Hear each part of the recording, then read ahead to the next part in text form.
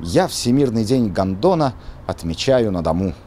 Поцелую эмбриона, яйцеклетку обниму. Жить у нас в России стоит, понимая, что почем. Торжествуй, сперматозоид, государством защищен. Пишет депутат Милонов свод законов на раз-два.